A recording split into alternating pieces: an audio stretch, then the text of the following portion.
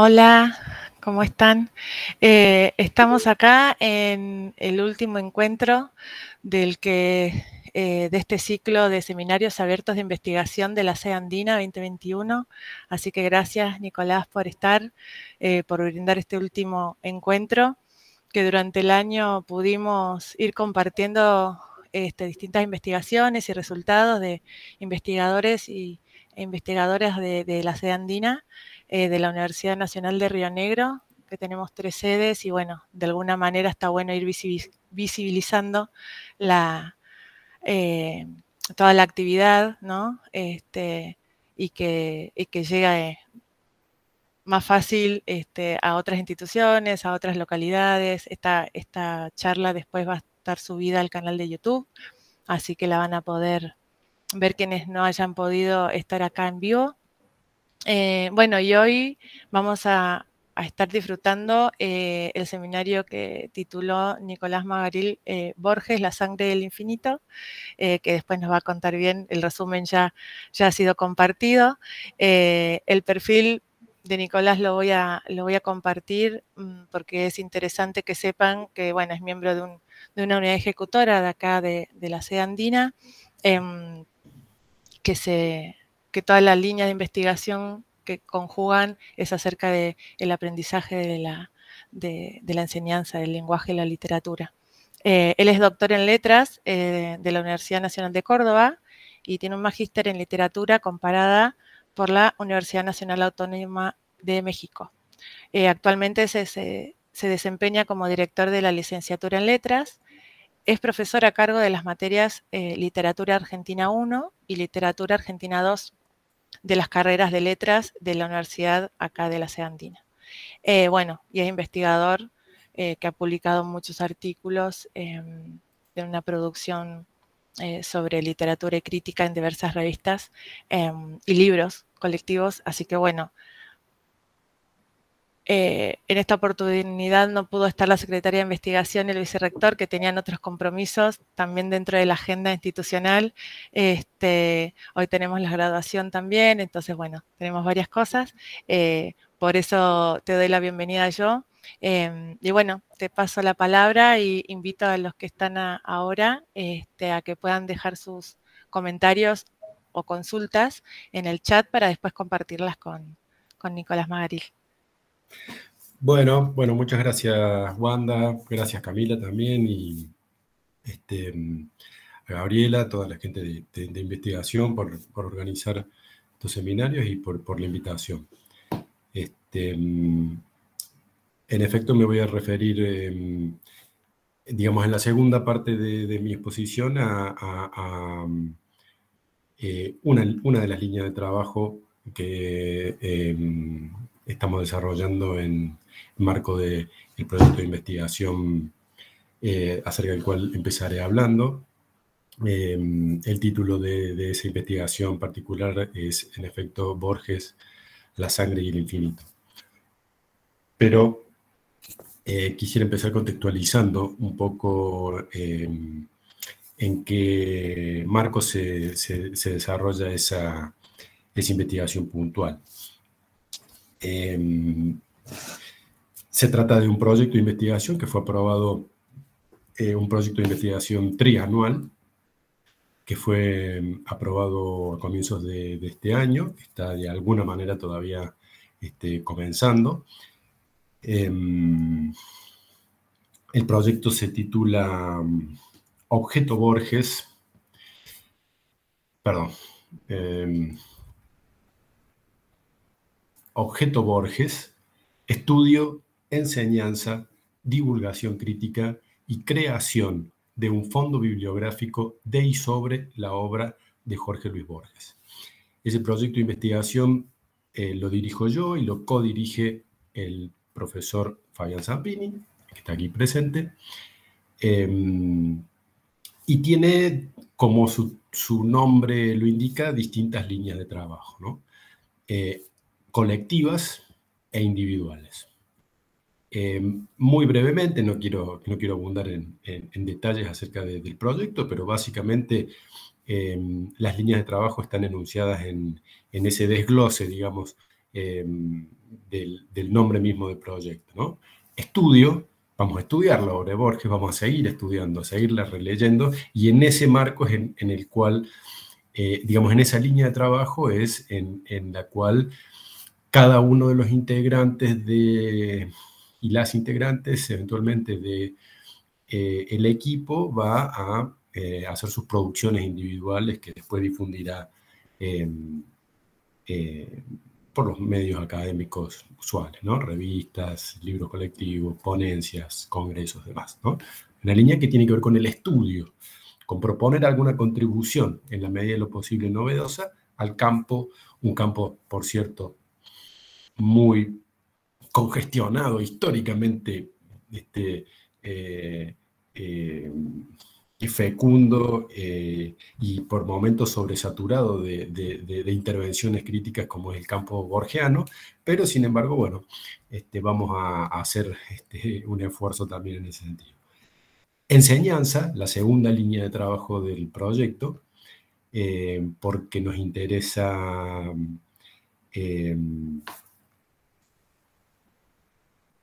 eh, transfigurar, trasladar ese estudio, em, que, no es un estudio que estemos comenzando ahora, es un estudio que, venimos realizando desde hace probablemente décadas, este, pero se trata de un autor este, de alguna manera, cuyo estudio es de alguna manera vitalicio.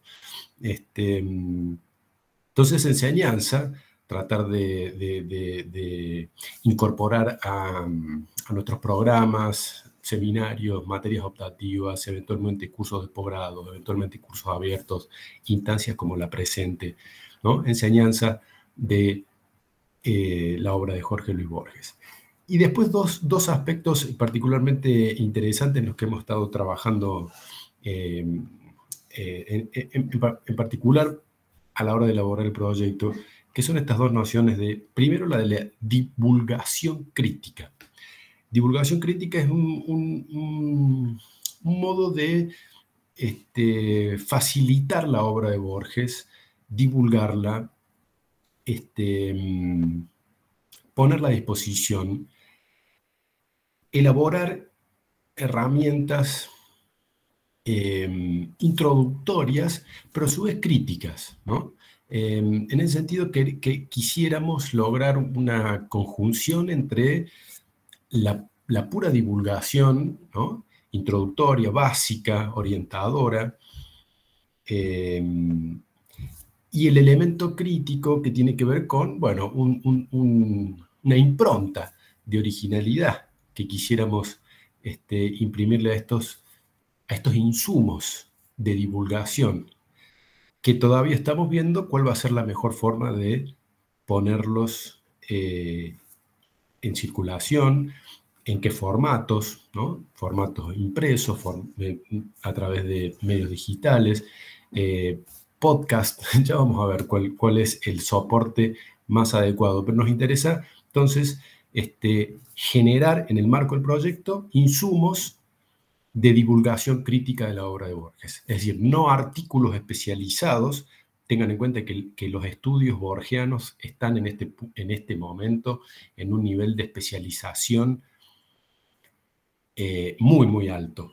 Por ejemplo, el último libro, el último, último libro importante que se ha publicado acerca de Borges, el método Borges de Daniel Balderston, trabaja con los manuscritos, las anotaciones, las correcciones. Otro libro importante, Libros y Lecturas, ¿no? trabaja con el concepto un, acervo de libros que Borges donó en la década del 70 a la Biblioteca Mayor. Esos, esos libros están, eh, fueron este, exhumados, organizados, clasificados, eh, porque estaban llenos de anotaciones. O sea, se está estudiando a ese nivel de detalle, como si fuera Shakespeare, digamos. Em, entonces es muy complicado eh, realizar allí una contribución este, verdaderamente novedosa, porque hay una revista especializada de la Universidad de Pittsburgh que lleva ya más de 40 números, con puros artículos en torno a Borges y una cantidad enorme de libros, artículos, paper, ponencia, libros colectivos, imposible de consignar y enumerar ahora. O sea, es un campo realmente muy, muy bien servido por la crítica mundial, este, eh, en varios idiomas, por lo tanto, bueno, eso tiene sus pros y sus contras. Este, por lo tanto, em, eh, también la divulgación crítica apunta a orientarse respecto de em, la crítica borgiana, que es también parte de ese objeto Borges. Por eso el nombre general del proyecto es Objeto Borges, ese gran objeto integrado por todas las obras de Borges, publicadas en vida de Borges, póstumas.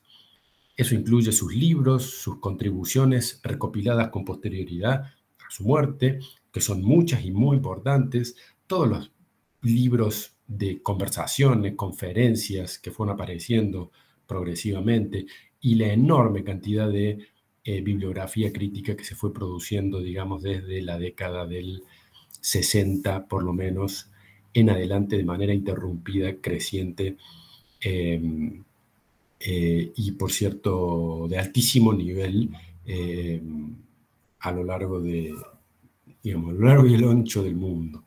Eh, y, este, y un último aspecto del proyecto que se relaciona directamente con el anterior, que es la de la creación de un fondo bibliográfico de y sobre la obra de Jorge Luis Borges. En ese sentido, bueno, tenemos pendiente todavía articular el proyecto con la biblioteca de la sede andina. Eso es algo que está pendiente, que vamos a hacer en, breve. Em, y es una articulación directa del proyecto, de una parte del proyecto con em, la adquisición, todos los fondos asignados al proyecto van a ser Em, reasignados a la adquisición bibliográfica, digamos, tenemos todo, ese, todo ese subsidio va a ser destinado a la compra de libros de y sobre la obra de Jorge Luis Borges, y van a ser debidamente, digamos, eh, van a pasar a formar parte, una vez que termine el proyecto, de la biblioteca de la sede andina, de forma tal que eh, los y las estudiantes, en general la comunidad académica, a través en la medida de lo posible, de los medios de divulgación crítica que nosotros pongamos a, funcionar, dispongan de una biblioteca, de una, de, una sección dentro de la biblioteca de la sede andina, especializada en la obra de Borges y sobre la obra de Borges. Esto implica una categoría que también estamos trabajando junto con la de divulgación crítica, que es la de curaduría bibliográfica. No se trata de comprar, libros al tuntún y después entregarlos, sino de hacer un, estudio. Eh, em, bueno, arrancamos haciendo una extensísima bibliografía de prácticamente todo lo que pudimos con distintas categorías, digamos. Eh, armar una bibliografía borgiana em, es, un primer paso muy interesante. Em, no es lo mismo, hay muchas bibliografías borgianas, pero no es lo mismo cortar y pegar una de algún estudio que armarla. Eh, al armarla uno empieza a, eh, eh, es un primer contacto y, entra a, em, a familiarizarse con el volumen, con la riqueza, con, con, las distintas líneas, categorías en las que se pueden ir reagrupando, se puede ir reagrupando ese enorme corpus bibliográfico. Bueno, disponemos de, si no me equivoco, 80 mil pesos para comprar libros, lo cual es una posibilidad de comprar muchos libros, pero hay que ver cuáles, cómo, y después esos libros, este, cómo, cómo esos libros, no se trata tampoco solamente de comprarlos y, entregarlos a la biblioteca, sino de articularlos con los mecanismos de divulgación crítica que vamos a ir generando. Entonces, ese es básicamente el proyecto, ¿no? Estudio, enseñanza, divulgación crítica y elaboración de un fondo bibliográfico de y sobre la obra de Jorge Luis Borges. Bueno, hay otros detalles acerca del proyecto, objetivos, que no voy a, acerca, de los cuales no, no, me voy a explayar ahora, pero básicamente ese es el proyecto. Eh, y bueno, estamos entusiasmados con, con lo, que, este, lo que nos queda por delante, que es, que es, un, que es un trabajo interesante este, desafiante también, este, y que eh, confiamos va a tener un impacto interesante este, en términos de poner a disposición de la comunidad académica em, un acervo bibliográfico acerca de, digamos así, no creo estar exagerando, el escritor de lengua hispana más importante de todos los tiempos. No es un escritor cualquiera, es como estar trabajando, insisto, en Shakespeare en el Reino Unido. Eh, eh, entonces, es un escritor este, de, esa dimensión, por lo tanto, este, está debidamente justificada esta, eh, esta propuesta en términos de trascendencia cultural que puede tener para una ciudad disponer de una, un acervo, un fondo bibliográfico actualizado eh, acerca del escritor más importante de la lengua española, ¿no? del siglo XX por lo menos, si, quisiéramos exagerar un poquito, entre los cinco o seis más importantes de la literatura universal de todos los tiempos. Estamos hablando de un, escritor de esa, de esa magnitud. Bien, eso respecto del PI, del proyecto, en el cual se inscribe como, les decía, algunas tareas colectivas que discutimos, ¿no? ¿Qué es, ¿Qué es la divulgación crítica? ¿Cómo la encaramos? ¿Cómo la difundimos? ¿En qué soporte? ¿Qué libros? Em, ya estamos comprando libros, hemos comprado ya unos cuantos importantes.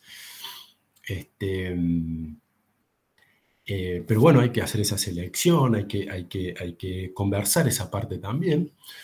Em, la, dimensión de la enseñanza también puede ser colectiva o puede ser individual y puede darse en distintos niveles educativos y a través de, distintas instancias institucionales eh, que sean convenientes.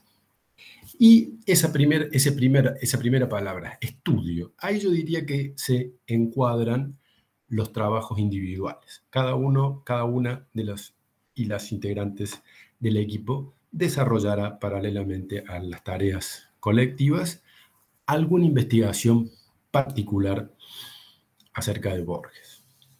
Este, en mi caso particular, y aquí voy a hablar de mi eh, investigación que en el contexto del proyecto terminará resultando eh, en un artículo eh,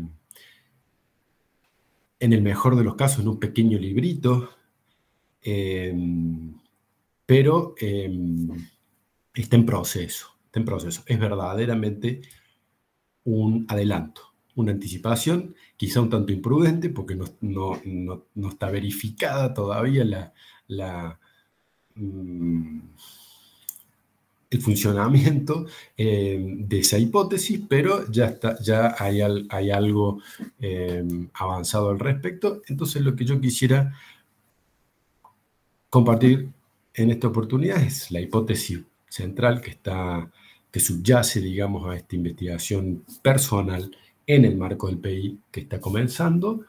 Este, y bueno, algunos de esos, de esos adelantos. No, no me voy a poner Voy a tratar de mantenerme en un nivel de generalidad, ¿no? Voy a hablar de textos, de la gran cantidad de textos específicos y no necesariamente mm, conocidos. No voy a presuponer que tienen fresco, eh, fresca la obra de Borges y menos este, mm, ese nivel de, detalle. Este, mm, así que voy a, voy insisto, presentar una hipótesis general este, acerca de Em, de, una, de, dos dimensiones predominantes em, de la escritura, del universo y del imaginario y del pensamiento borgiano. Este, em, y, bueno, después puedo, estoy disponible, digamos, y este, para, cualquier consulta y en función de las preguntas o, dudas o comentarios que quieren hacer, puedo em, abordar algunos detalles que no hayan, que hayan quedado pendientes. Básicamente este trabajo eh, se titula Borges, la sangre y el infinito. Estos dos, eh, digamos así, elementos, nociones porque son nociones, son realidades, son conceptos, son símbolos, sangre e infinito. La idea es este, em, trabajar a partir de estos dos elementos, llamémoslos elementos por ahora, entre comillas, eh, nociones, una de las cuales, la sangre, pareciera no haber sido mm, trabajada en la obra de Borges, hasta donde yo sé, solamente Horacio González en alguna que otra oportunidad ha hecho algún comentario puntual, pero es un tema muy poco trabajado este, y, muy presente, sin embargo, de punta a punta en la obra de Borges, en distintos contextos, con distintas connotaciones eh, y funciones, em, la sangre, Y el infinito, uno de los temas más trabajados de la obra de Borges. Entonces, bueno, hay que eh, conciliar esas dos este, eh, aspectos del problema también, ¿no? Pero a su vez, este, quisiera dar un pasito atrás primero. ¿De dónde arranca la, idea? Arranca de un, texto clásico sobre Borges, de uno de los textos famosos, clásicos, básicos de la tradición crítica borgiana, que es un breve artículo que publicó Ricardo Piglia en la revista Punto de Vista en 1980, que se titula Ideología y ficción en Borges. En ese, en ese artículo, Ricardo Piglia plantea que en Borges eh, hay una especie de discordia o de mm, convergencia de dos linajes que, que él este, mm, propone a partir de una reconstrucción del árbol genealógico familiar de, Borges, ¿no? el linaje materno, ¿no? la familia de los Acevedo, y el linaje paterno, de los Borges, em, la rama materna y la rama paterna, de las cuales deviene o se procede, digamos así, em, dos grandes dimensiones de la obra de Borges que sinteticemos como en términos de, por, el lado materno, el culto del linaje de la sangre criolla, de los antepasados de muchas generaciones de argentinos, ¿no? esa, esa impronta del criollismo viejo en Borges. Eh, la memoria familiar, la tradición, pero también vinculado a eso, el culto del coraje, cierta, cierta memoria de lo épico experimentada como una herencia familiar, lo épico en el sentido de que sus ancestros fueron, participaron en distintas batallas, ya sea de la independencia o de las guerras civiles eh, con posterioridad, incluso de las guerras de frontera, las guerras contra, el, contra las comunidades originarias, Digamos, hay una tradición de em, guerreros nacionales criollos por la línea materna, de la cual este, le viene a Borges el culto de los mayores, el culto del coraje y en general, digamos, su proyecto criollista. Por el lado del padre, dice eh, Piglia, bueno, viene la, el culto del libro, el culto de la biblioteca, la biblioteca paterna esa biblioteca de la cual Borges decía que no había salido, nunca había salido de esa biblioteca paterna de ilimitados libros ingleses. Esa gran biblioteca heredada del padre, donde desde muy niño Borges bilingüe arranca su formación bibliófila. Este, esos dos linajes, el materno y el paterno, se articulan, según Piglia, una especie de, de ficción de origen de su de su escritura, es una novela familiar y a su vez es, una especie de síntesis también de cierta historia cultural y política argentina, eh, y un sistema de relatos, dice Pile, de los cuales los emblemáticos serían, digamos así, el hombre de la esquina rosada, el texto paradigmático del guapo, del, culto del criollo del coraje, y, por otro lado, Pierre Menard, autor del Quijote, la ficción crítica intelectual. ¿no? Bien, esta es una idea clásica de la crítica borgiana que elaboró Ricardo Pil en 1980, Y este, a mí me, interesa retomar esa de doble filiación, eh, pero, digamos, los dos Borges que a mí me interesa reiterar eh, son una especie de, extensión y, en el mejor caso de extralimitación, tal vez, de esos dos Borges planteados por, por Ricardo Piglia.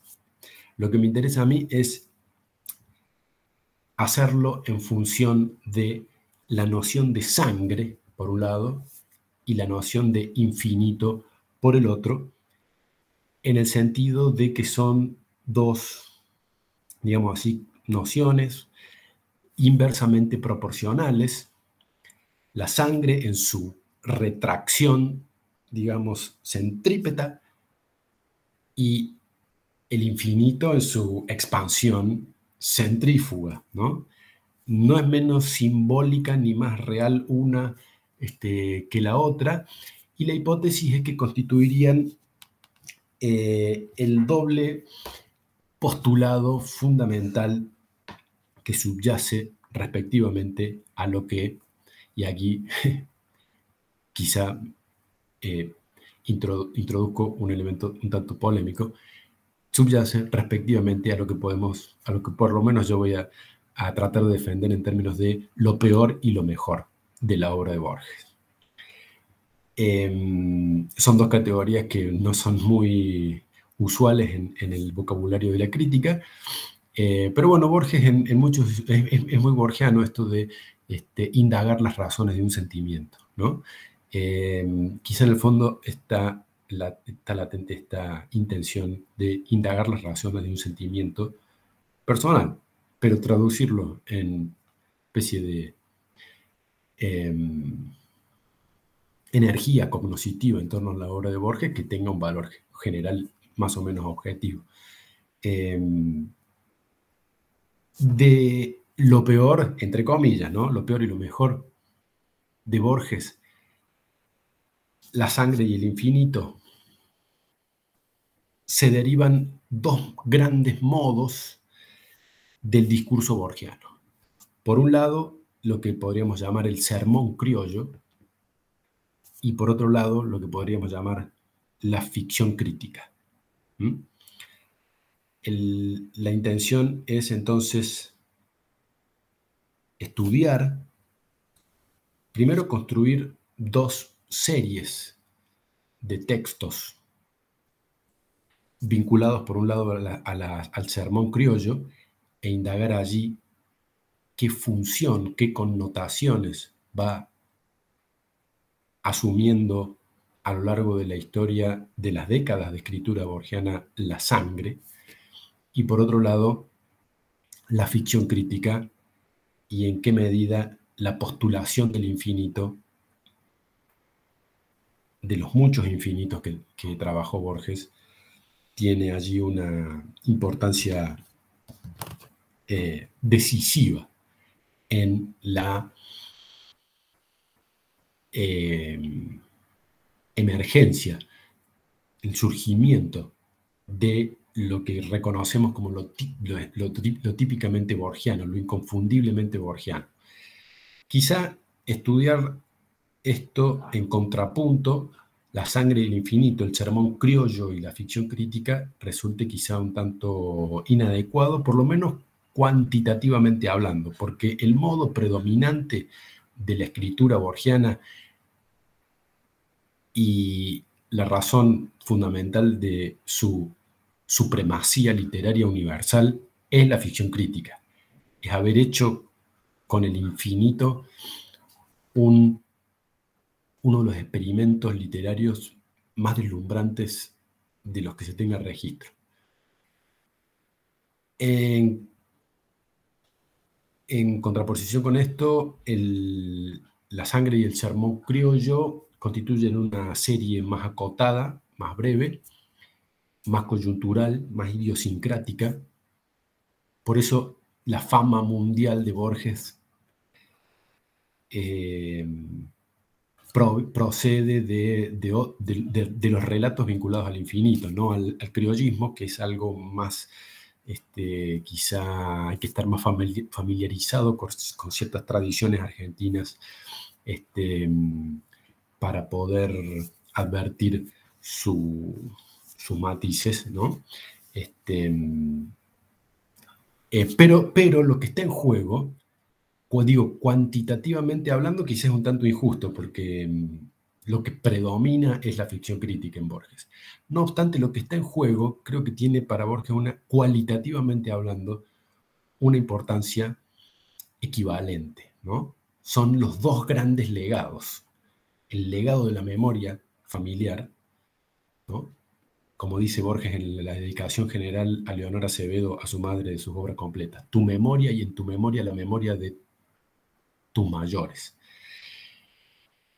Eh, y en ese sentido eh, hay una, un valor sentimental, digamos así, eh, crucial en ese legado. Y que, se, que por supuesto se proyecta en muchas dimensiones significativamente en su escritura y en su imaginación. Y por otro lado, el legado del padre, de los libros, de la tradición intelectual, del el culto del libro de la biblioteca. Son, si bien, eh, digamos, cualitativamente lo que está en juego son dos factores centrales, los dos linajes de los que habla, de los que hablaba Piglia en su momento. Em, bueno, respecto, si quisiéramos hacer un contrapunto, ¿por qué digo yo lo mejor, lo peor y lo mejor? Em, siempre entre comillas, ¿no? Em, porque voy a caracterizar muy, muy rápidamente y muy esquemáticamente esto que yo llamo sermón criollo, que, en el cual hay ensayos básicamente, intervenciones polémicas, es más bien un tipo de incidencia en, en el discurso borgiano que un modo entero del discurso. ¿no? El, sermón criollo es un tipo de, intervención y la ficción crítica también, ¿no? aunque hay muchos casos en los que claramente podemos reconocer uno y otro modo. Eh, pero, digamos, básicamente el sermón criollo es un discurso contradictorio y es contradictorio fundamentalmente en lo que respecta al culto del linaje y de la sangre de la sangre criolla, no de la pureza de la sangre, sino de la prioridad de la sangre criolla. El hecho de haber estado allí antes de el aluvión inmigratorio, que confundió todo. Cuando esta confusión acabe, decía Lugones en 1916, la confusión étnica, lingüística, idiosincrática, eh, que para los criollos viejos y sobre todo los herederos de la generación del 80, fue em, una, un, impacto importante que sacó a relucir la miseria ideológica ¿no? de, cierta clase, de cierto sector. Eh, Borges está vinculado a, ese, a esa reacción y el sermón criollo es el vínculo de esa, de esa reacción. Entonces, pero a su vez es un liberal, a su vez un liberal. Y en el contexto de la Segunda Guerra claramente fue antifascista, antinazi, antirracismo nazi. Em, por lo tanto, se encontraba en una situación contradictoria. Su criollismo viejo lo le aconsejaba tarde o temprano defender el linaje de la sangre y su liberalismo intelectual, digamos, spenceriano, de, de cuño inglés, lo llevaba, por supuesto, a formar, a cerrar filas en la retaguardia, digamos, aliada, antinazi, y a eso se ve claramente en una serie de textos publicados en la revista Sur en contra del nazismo. Borges y la sangre en el medio como el elemento esencialmente contradictorio. No voy a repasar uno por uno los textos en los que esto se pone de manifiesto, porque nos iríamos ya muy lejos. Pero entonces, allí donde el sermón criollo es contradictorio, la ficción crítica es paradojal. Allí donde el sermón criollo es determinista, ¿no? El sentido de la identidad nacional, en definitiva, la determina la sangre criolla. La cronología, la cronología y la sangre, dice Borges. Es decir, no la pureza de la sangre. En Borges eh, no es la pureza, no es en ese sentido biológico eh, nazifascista del racismo. No es la pureza. Mientras más mezclas, mejor, pero antes. ¿No? Es una, es una, es una, especie de, de, prioridad de la sangre, no de pureza de la sangre. No sé si se entiende. Este, eh, donde el primero es entonces determinista en ese sentido, el segundo, la ficción crítica es imprevisible, nunca sabemos para dónde puede llegar a salir ese razonamiento paradojal, donde la primera es asertiva, apodíctica, afirmativa, es el discurso de las convicciones, la ficción crítica es conjetural, especulativa,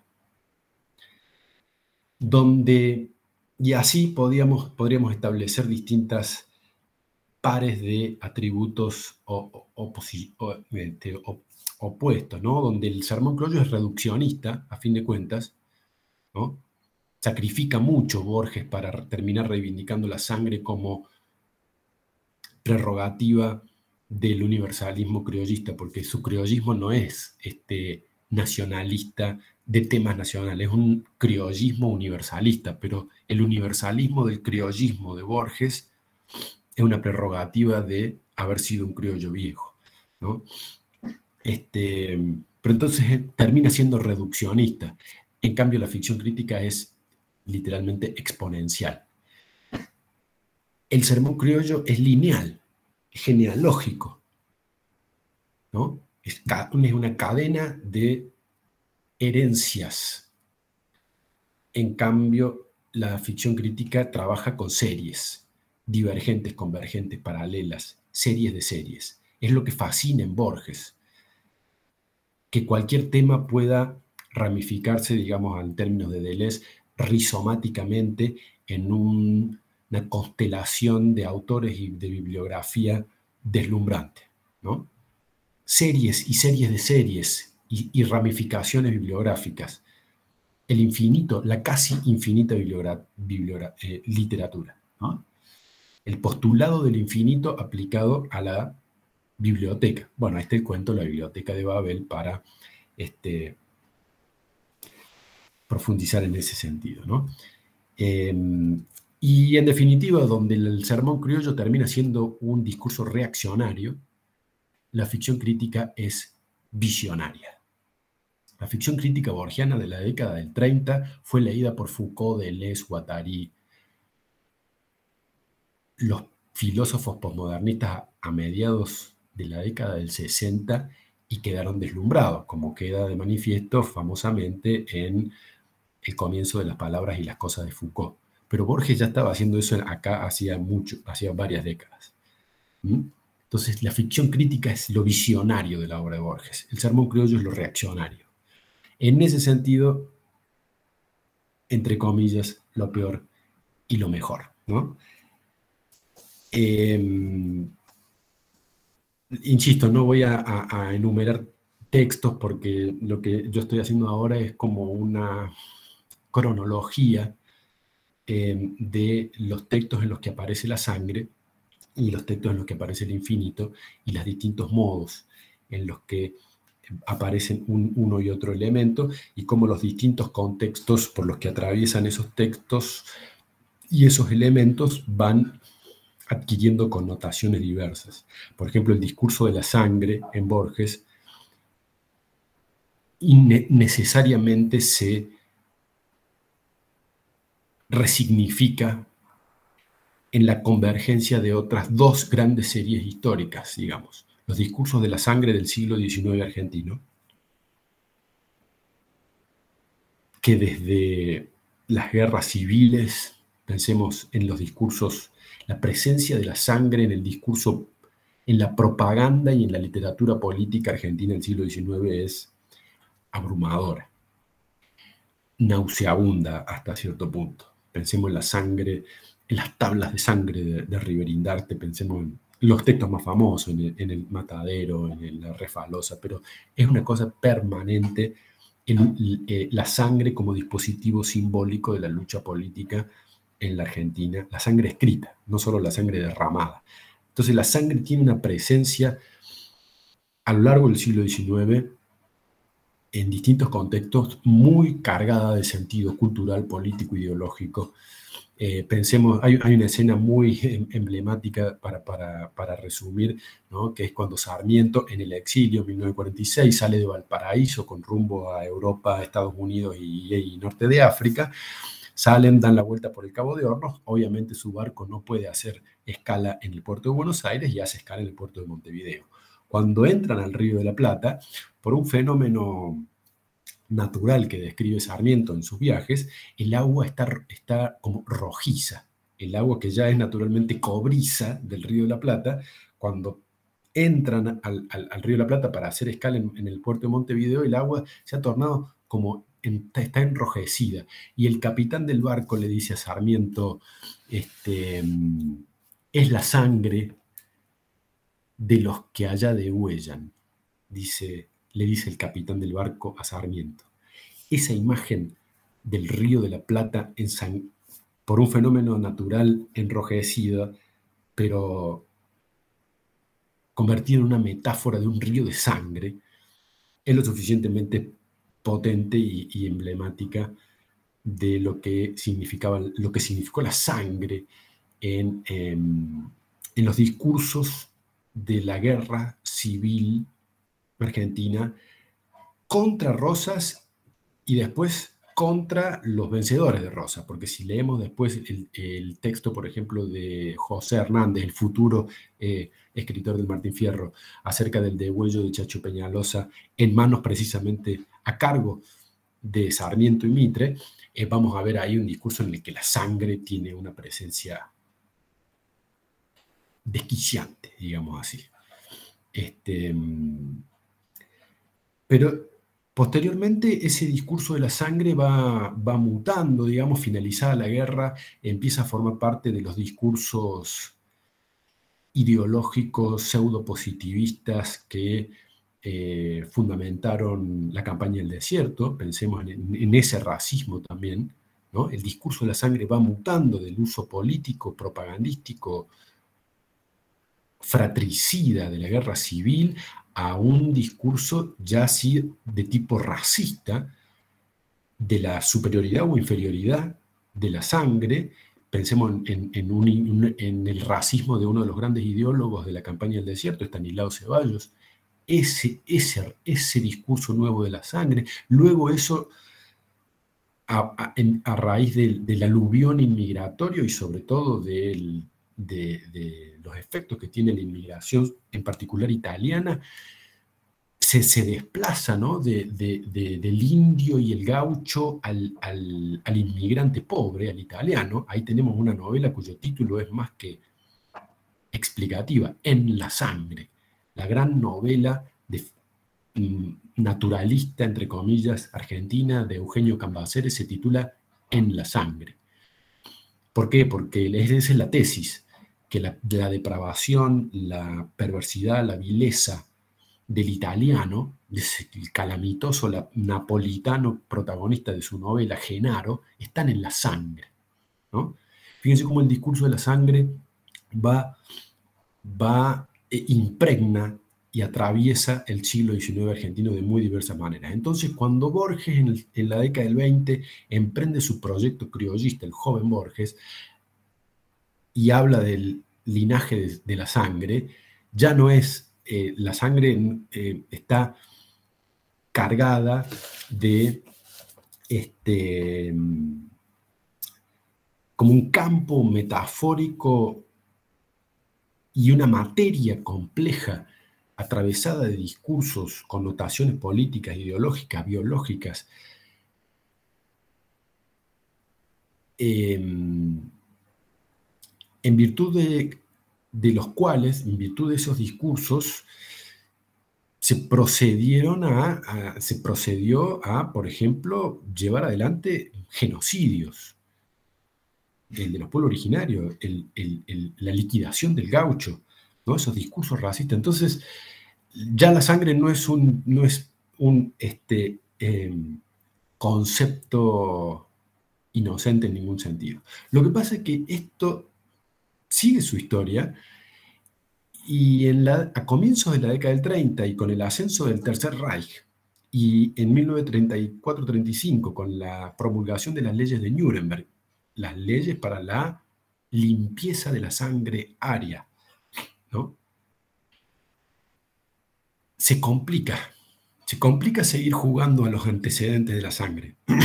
Borges es totalmente consciente e incluso lo pone de manifiesto en algunos textos en el eh, atolladero ideológico en el que se ha metido su culto de la sangre en la década del 30 a raíz de este específico racismo biológico sanguíneo nazi.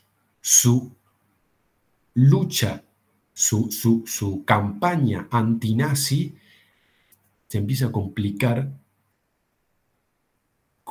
con su culto del linaje de la sangre. Bueno, esto es para analizar en varios textos, pero dejémoslo ahí, digamos, este, pero esto sigue, ¿no?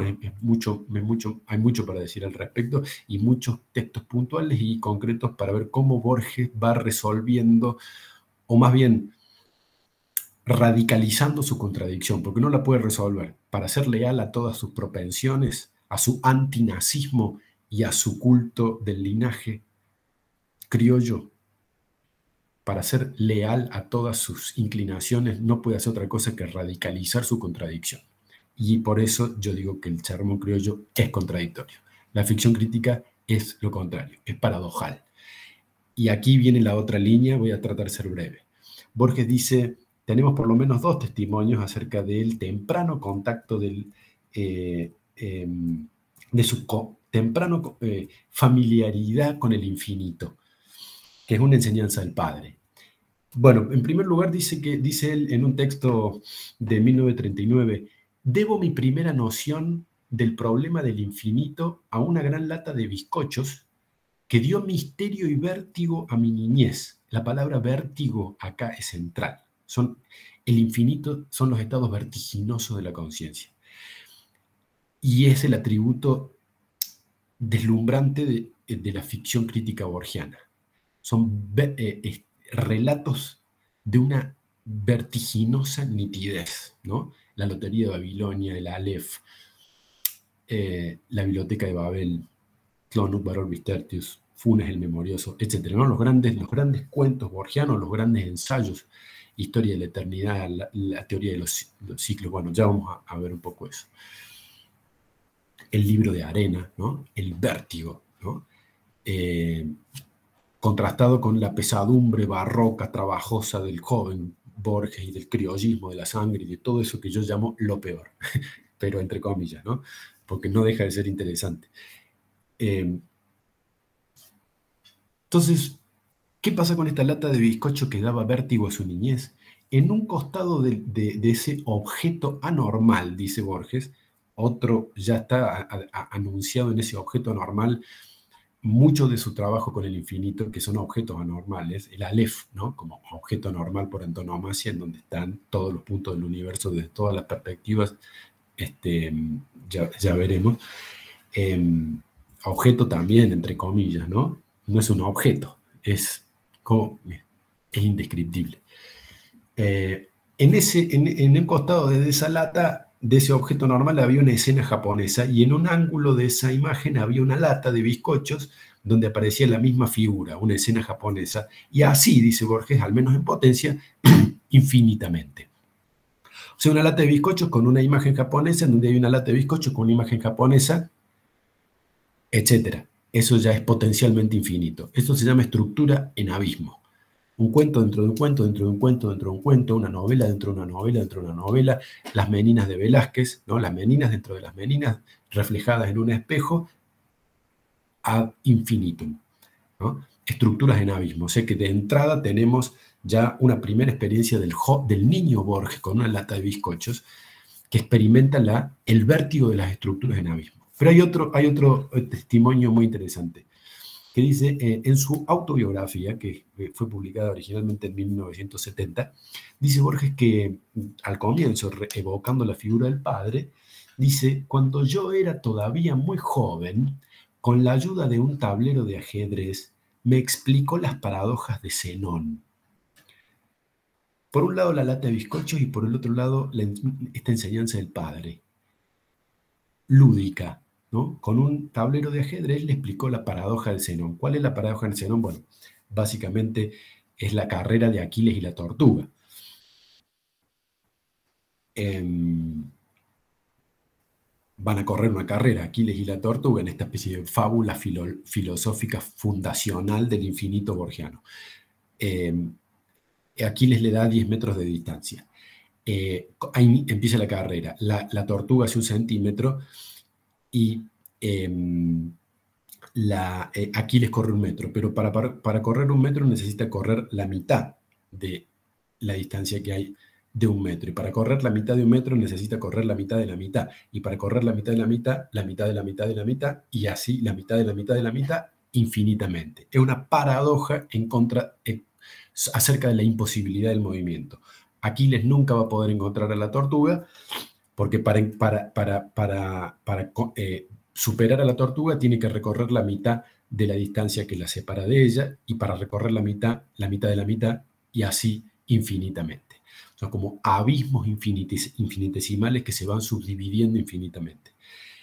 Esto después se va a mezclar en Borges con la teoría de los números transfinitos de Cantor, en la cual la parte no es... Eh, menor al todo, ¿no? Los números son infinitos, pero los números, pero los, números naturales son infinitos, pero los números pares y los números impares también son infinitos. Por lo tanto, la parte de los números no es eh, menor al todo. Esa paradoja, eh, más, la, más, la, hipótesis, más la, más la, más la parábola de Zenón eh, en la carrera de Aquiles de la Tortuga, va a ser central en Borges. No obstante, su temprana relación con la idea del infinito, con el problema del infinito, su primer texto enteramente dedicado al tema es relativamente tardío. Es como si hubiese, como si el, el tema mismo le hubiese recomendado no precipitarse en un tema llamado a ser determinante, decisivo, crucial en su obra literaria, le hubiese recomendado no precipitarse. en ese sentido, el primer texto enteramente dedicado al tema se publicó en la prensa en 1929 y se titula, por supuesto, La perpetua carrera de Aquiles y la tortuga, reanudando y homenajeando aquella vieja elección del padre. De allí en adelante, 1930-1940 hasta mediados de la década del 50, hay por lo menos, por lo menos por lo menos más de 70 textos insoslayables en los que el postulado del infinito de una u otra forma está presente en eh, los textos eh, de Borges. Objetos y criaturas infinitas, el Aleph, el Said, la rueda de Sincán, el libro de arena, el libro circular infinito de la biblioteca de Babel, la Biblia de los cabalistas, el tigre infinito, la figura de la hidra, el espejo, otra figura de, un poema persa que, eh, que, es de un pájaro llamado el Simurg, juegos infinitos, el Go, el ajedrez, el truco mismo, ¿no? El truco mismo para Borges es un, juego infinito. Ahí vemos como el criollismo y el infinito este, se traslapan en un, instante, el interés por las artes combinatorias, ¿no? la máquina de pensar de Raimundo Lulio, las combinaciones alfabéticas infinitas de la biblioteca de Babel, eh, las espacialidades infinitas e infinitesimales, ¿no? la esfera, la esfera de Pascal, eh, la ciudad de los inmortales, hecha de laberintos entretejidos, el laberinto de, Asterión, eh, la propia biblioteca de Babel, el interés por la cuarta dimensión. Bueno, podríamos mencionar ¿no? Eh, un montón. Bueno, las temporalidades infinitas, ¿no? la eternidad, el, interés por la eternidad. Hay un libro de Borges que se llama Historia de la Eternidad. La inmortalidad, ¿no? Ese es otro, otro tema acerca de que, implica la, la, infinitud de la temporalidad en la vida. Este, el interés por la transmigración infinita en el budismo, por los ciclos, por el eterno retorno, por las herejías este, gnósticas del siglo II, que presuponen también este, temporalidades este, infinitas, eh, las, innumerables, las, dimensiones temporales innumerables de John Donne, o un, filósofo que le interesaba, las novelas infinitas, ¿no? Él no escribió ninguna novela, pero en sus cuentos hay argumentos de novelas infinitas, la novela que es la novela Laberinto de Tsui Pen, en la cual todas las causalidades suceden, ¿no? Em, porque él, otro, postulado del infinito, ¿no? que el, mundo es el efecto infinito de una causa infinita, eso está presente y, permea, digamos, la imaginación borgiana en múltiples niveles.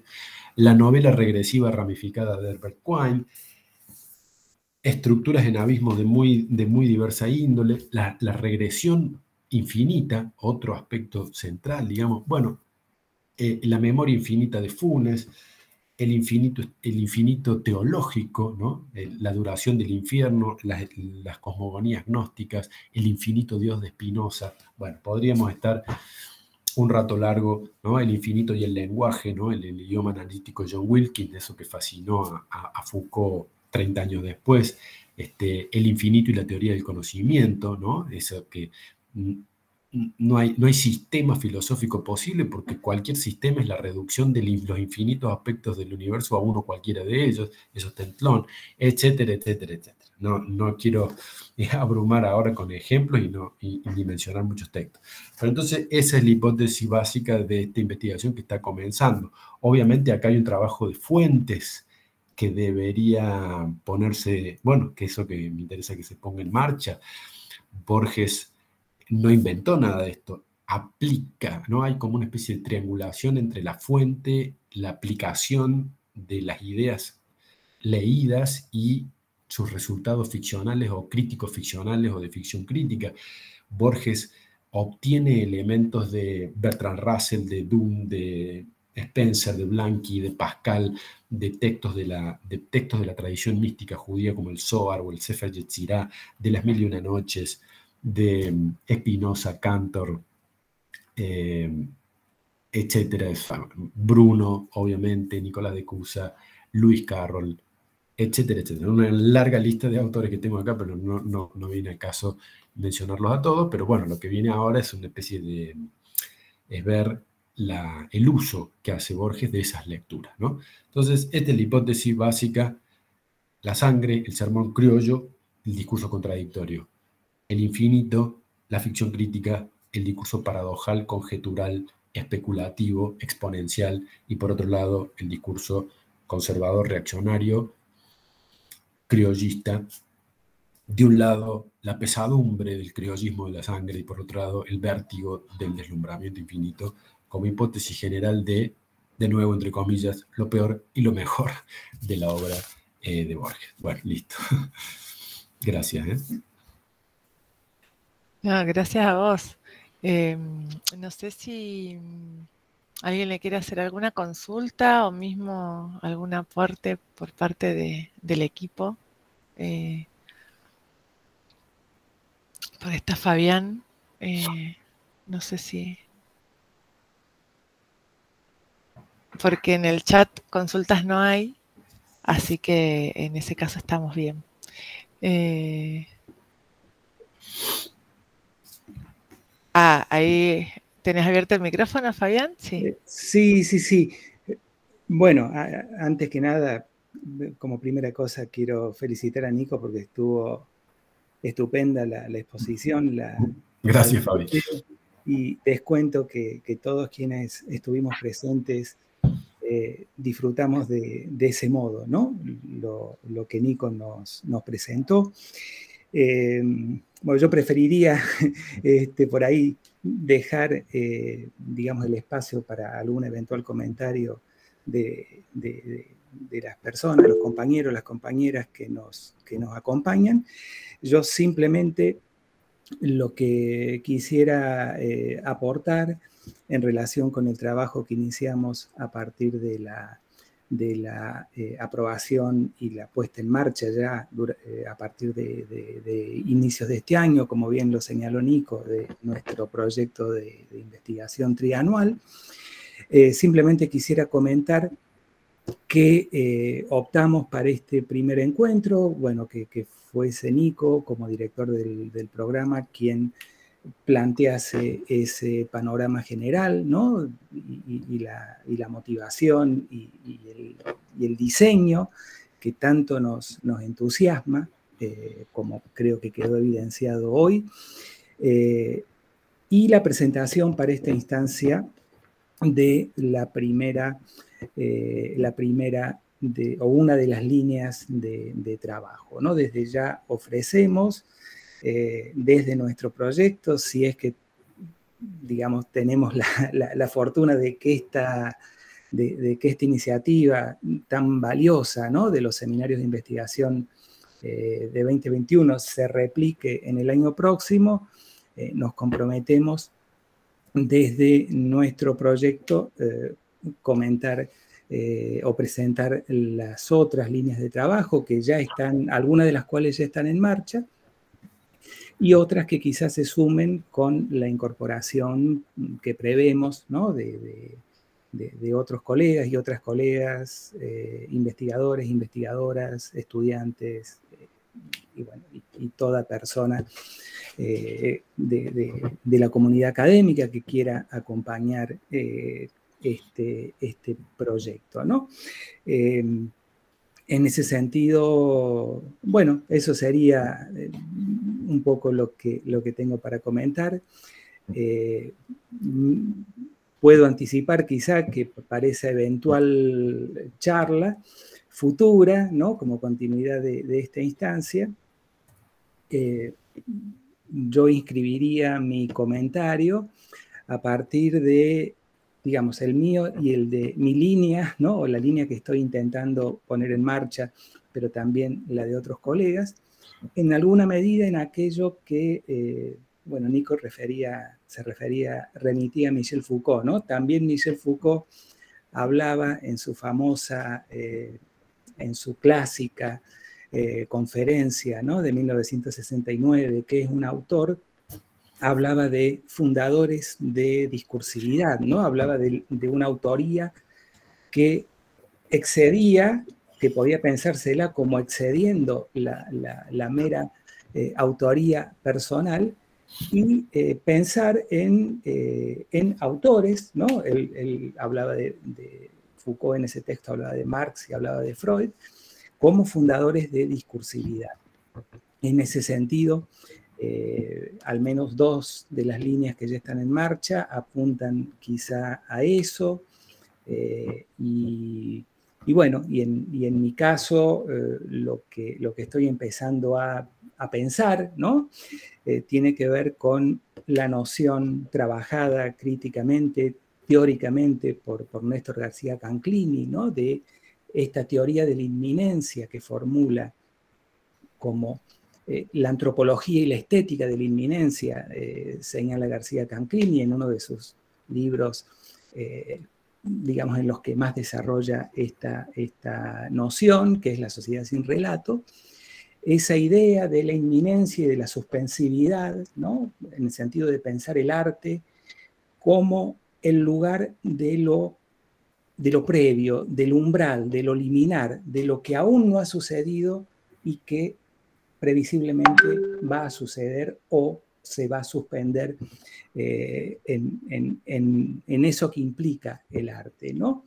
Ese umbral, esa instancia de revelación de una, de, una de, inminencia de una revelación que no se produce, como dice Borges en uno de sus ensayos más famosos, la muralla y los libros. Bueno, lo mío se va a centrar eh, un poco en eso e intentando ver cómo funciona esta categoría de la inminencia borgiana en otros autores y principalmente, eh, en mi caso, estoy trabajando el poeta chileno Raúl Zurita. Así que, bueno, muy, muy, muy contento, muy contento eh, por, por esto que, vivimos hoy. Y nuevamente gracias, Nico, ¿eh? estuvo extraordinario. gracias, sí, gracias, Fabián, por tus comentarios y sí, me sumo a, validar este, este reconocimiento a Nicolás porque eh, en un momento ya transmitiste, ya te sumaste a la pasión que te genera esta investigación y, y, a quienes no conocemos, como en mi caso, las obras, nos trasladaste el interés y, esta, esta, visión ¿no? del, autor. Em, así que muchas gracias. Eh, en el chat, eh, Rita Lesser eh, pregunta, ¿por qué la categoría de sermón para englobar un corpus de textos?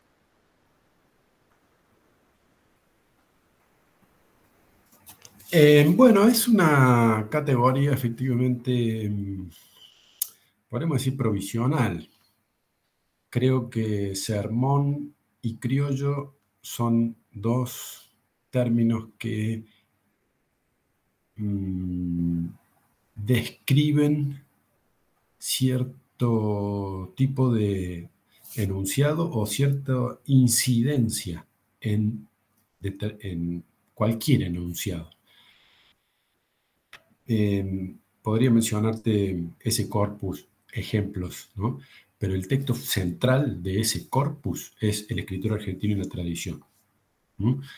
Este, reconstruir el contexto en el que ese texto, que es una conferencia de 1951, se produce, nos llevaría mucho tiempo. Pero, ¿por qué? Bueno, porque creo que son dos nociones que de alguna manera describen algunos de los procedimientos que se ponen en juego porque en términos metodológicos es útil formular categorías que permitan articular corpus de textos, así como la de ficción crítica permite articular otros, eh, y siempre teniendo en cuenta que son provisionales, que es a los fines de un determinado abordaje, que no pretenden ser absolutas en lo más mínimo, ni, terminantes, son provisionales, son discutibles. Y, y son herramientas para poner a funcionar una hipótesis de trabajo. Si funciona o no funciona, eso va a quedar de manifiesto probablemente más adelante. Por ahora mm, eh, es una categoría que me ha permitido eh, construir una serie. Construir una serie que empieza en el tamaño de mi esperanza, atraviesa la década del 30, em, que me permite considerar eh, otra serie, no necesariamente vinculada al sermón criollo, pero sí a la temática de la sangre, que es la, la serie, digamos, de la, militancia antinazi de Borges en la revista Sur. Y esa serie termina, termina en, el escritor argentino de traducción, termina y culmina ahí con, el, con finalmente lo que yo llamo la radicalización de la contradicción. Y tiene un epílogo ¿no? en el cuento Guayaquil de El informe de Brody, que, bueno, en otra oportunidad podríamos conversar. Pero está bien la pregunta. Es, es una categoría provisional, digamos, para organizar una serie de textos. Sí, eh, muchas gracias. Eh, me pareció muy interesante, además de la sistematización, y entendía que tenía como un sentido eh, dentro de esta categorización, que la verdad me aclaró muchísimo, me, dio un, panorama muy amplio, muy abarcador de la temática y, los opuestos y las contradicciones en Borges, me pareció realmente muy, muy edificante. Lo que yo entendía era si el sermón había sido una categoría previa, que yo probablemente desconocía, o si se estableció a raíz de algún elemento en común en este corpus, que por lo que deduzco de lo dicho tiene algo que ver con eh, una, un, un tinte argumentativo o una militancia con respecto a lo criollo. Sí, sí, sí, sí. Y hay algo de sermón, hay algo de rezongo hay algo de quejumbre, ¿no? de lamento criollo. ¿no? Fracasa el criollo, dice Borges en 1926. Hay un fracaso, eh, em, hay una tragedia criolla que es, eh, ¿no? En donde mm, el criollo viejo rodeado de, criollos claudicantes, de advenedizos, de pícaros y de inmigrantes desagradecidos, este, se siente invadido, ¿no? Y Borges ahí recupera y relabora tópicos de del grupo más este, cerradamente xenófobo de la generación del 80. Pienso en Miguel Cané, de cepa criolla, cerremos el círculo y velemos sobre él. Entonces, cuando Borges dice nuestras, nuestra tradición, nuestras imposibilidades, porque también hay un masoquismo criollo, eso garantiza la, la autoridad moral Hace muchas generaciones que soy argentino, enuncio sin alegría estas quejas. La vieja tradición familiar le da, descuenta la legitimidad pública de sus desahogos criollistas, de su rezongo. Por eso digo sermón, porque además es masoquista. Este, nuestras imposibilidades, nuestros dialectos lamentables, me refiero al, no sé, al cocoliche, al, al lunfardo, ¿no? que Borges detestaba. Eh, nuestras imposibilidades, nuestros dictadores astutos, nuestro anverso de sombra, son todas frases de él. Nuestro, nuestro, nuestro. Y finalmente nuestra tradición es toda la cultura occidental. Cuando él dice nuestro, se está refiriendo a un pronombre muy restrictivo para referirse a lo argentino. Incluso más restrictivo y reaccionario de lo que podemos considerar que lo fue en su momento Lugones, que estaba horrorizado con los inmigrantes.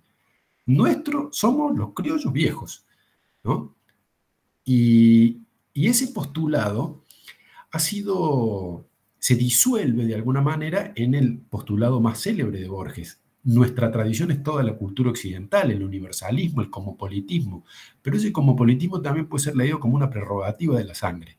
Y ahí es donde, de la sangre criolla, no de la sangre pura, porque no es pureza al estilo biológico delirante pseudocientífico nazi, ¿no? que viene de Chamberlain, de Stuart Chamberlain, y que es el maestro de Rosenberg, que es el gran ideólogo de, de las leyes de Nuremberg.